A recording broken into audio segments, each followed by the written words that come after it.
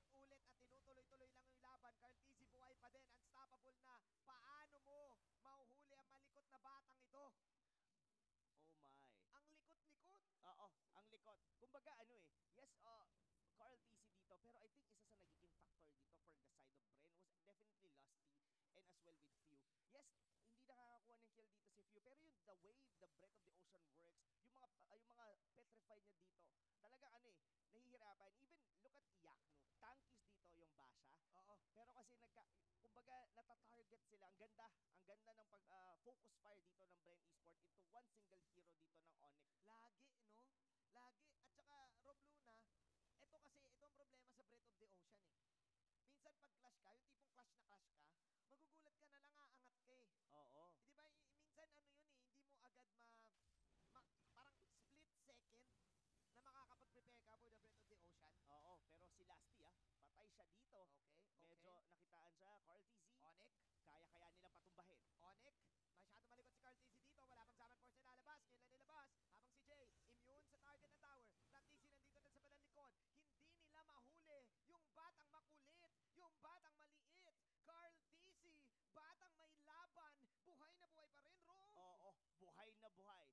Looks like it's really paying off for Bren Esports dito for the Harif pick.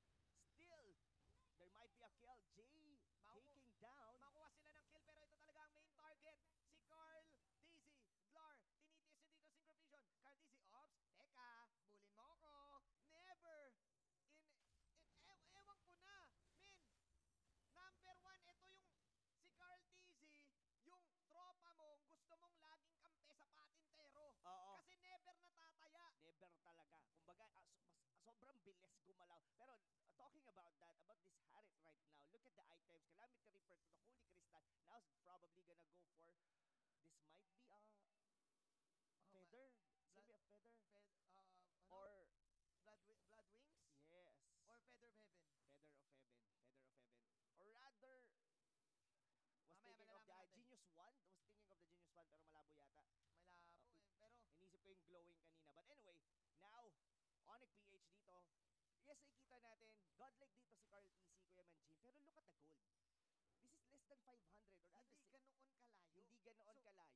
hindi ganoon So, kalayo. Ang problema lang ng Onyx dito is si Carl TC talaga.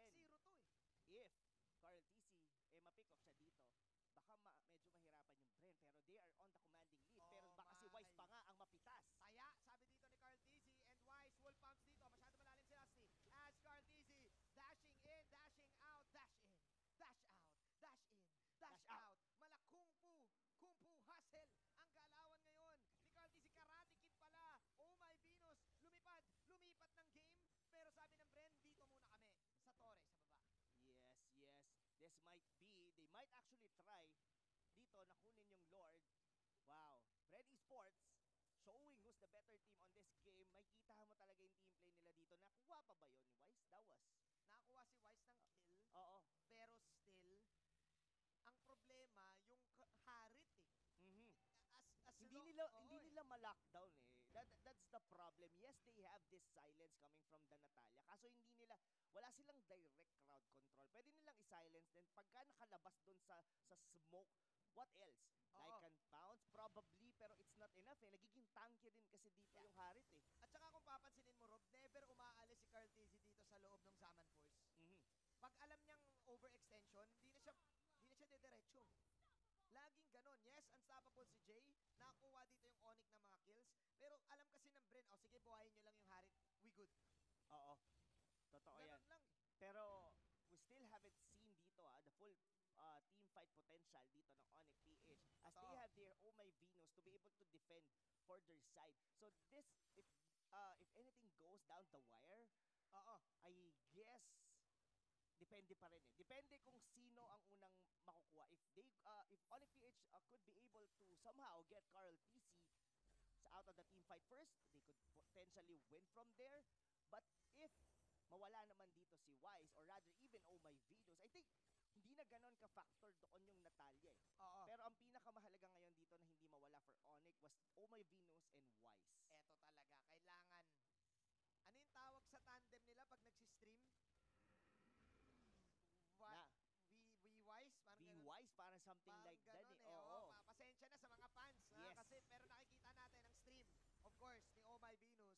Pero ito ah, Lord, sinusubukan. This might be a fake, Lord. Tinitignan nila kung magre-react sa kanila dito ang Onyx PHJ.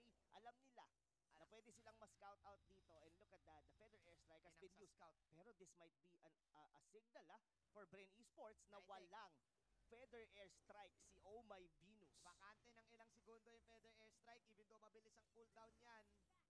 Alam ng Bren na wala, that's why kalahati kagad ang buhay dito ng Lord. Eto na, may, may Airstrike na ulit. Iyakno, main target, Feather Airstrike sa loob ng Zaman Force! Doc, Rebo with a slam dunk and a dive. Tatarget din dito. Ngayon si Wise at nako, napakagandang rough waves. Oh Doc my. or Rebo is in and cleaning house. Napaghiwa-hiwalay nila dito yung members ng Onyx PHS right under the bushes. Nag, nap- napilitan na maghiwalay doon si Wise and si Oh My Venus doon sa pag-dive in dito ng mga members ng Bren. Alam mo yung ginawa nila? Parang pinaangat lang nila doon yung Lord. Then nung papunta na sila doon sa may brushes doon sa may gitna, they suddenly nagsaman for si Carl. Tapos from there, the rest is history. Kumbaga, na, napilitan mag-air uh, wings by wings palayo doon sa kabilang uh, pader. Oh My mukhang Venus.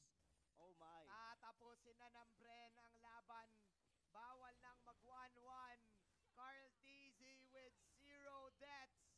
Wow. Putting this one in the bag. Another victory para sa Bren Esports. One game away para sa Grand Finals ng MPL Season 6. That's a very dominant game. I mean, the Harry, this was the first time na nakita natin dito for Carl Tizzy. Onyx PH knows that they have